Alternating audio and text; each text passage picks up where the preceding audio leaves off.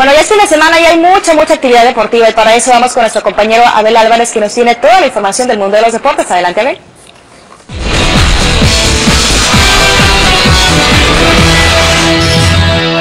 Gracias Blanca, un saludo para ti también para Víctor y para las personas que están en la sintonía con Milenio Televisión. Efectivamente que estamos con la afición y los deportes. Pues comenzamos hablando de las Águilas de la, América.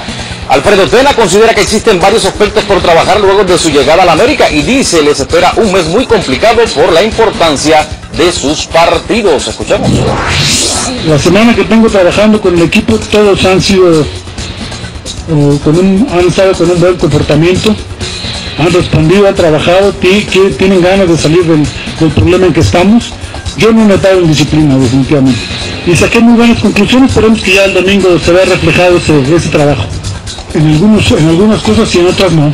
En otras sí realmente el equipo tiene técnica, tiene velocidad, tiene explosividad.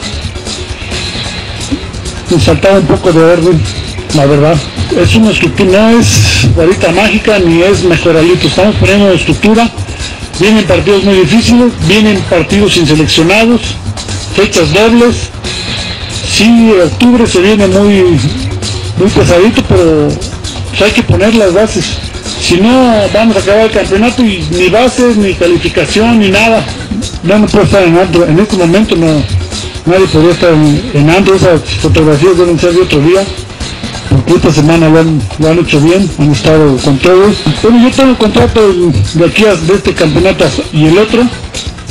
Ya veremos si los resultados dicen que que me quedo o me voy. Por su parte, Aldo Beligris considera que Monterrey tiene el plantel suficiente para hacer un buen cierre de torneo y mantenerse entre los primeros lugares de la tabla general.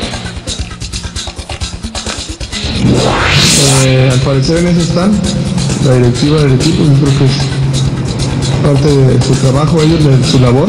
Y yo pues, obviamente, como ya lo había comentado, ¿no? Estoy nada contento con mi error, pero, pero bueno, tengo eh, un partido también el, martes, eso es bueno porque, porque sigues en ritmo y sigues ahí. Y creo que el equipo está muy completo y, está muy, muy bien para, levantarnos de, esta situación que por ahí no estamos en, en las peores de las situaciones, pero, pero también sabemos que, debemos estar mucho mejor con el equipo que tenemos.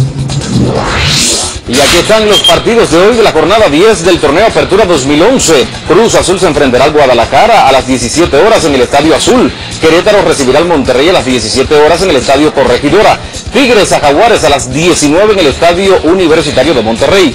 Pachuca y San Luis se verán las caras a las 19 horas en el Estadio Hidalgo. Estudiantes y Pumas a las 19 horas en el Estadio 3 de Marzo. Y Atlas y Atlante en el Estadio Jalisco a las 20 con 45 minutos. Y Santos Laguna regresó a los entrenamientos para el partido que tendrá este domingo.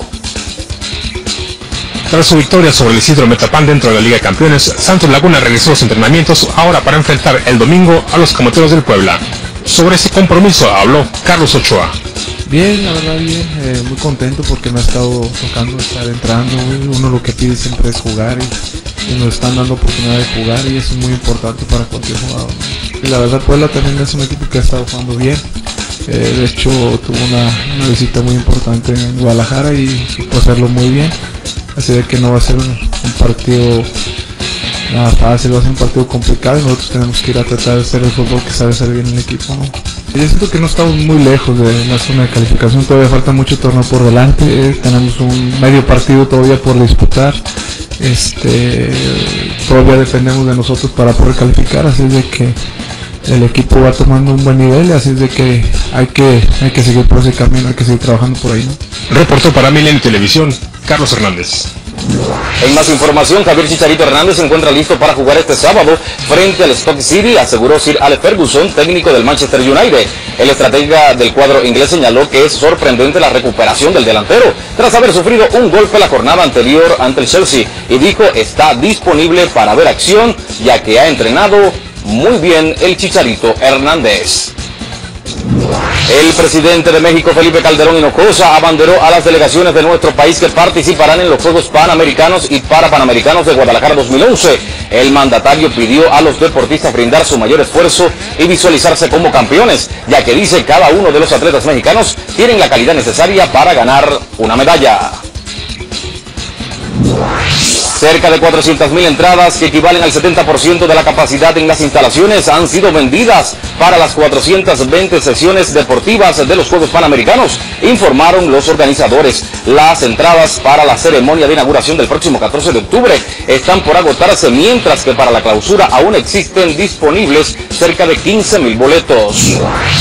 Ryan Brown conectó un cuadrangular productor de tres carreras en la octava entrada y los cerveceros de Milwaukee superaron 4-1 a los Marlins de Florida para ganar su primer título divisional desde 1982. Con los nuevos monarcas de la división central de la Liga Nacional, el mexicano Giovanni Gallardo lanzó 7 innings y permitió una carrera además de recetar 11 ponches.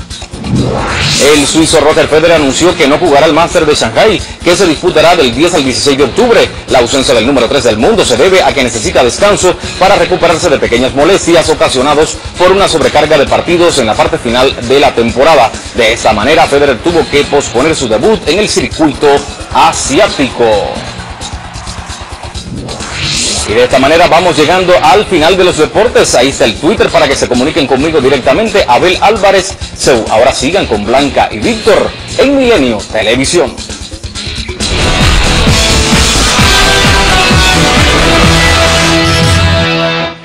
Gracias Abel. Hay más información.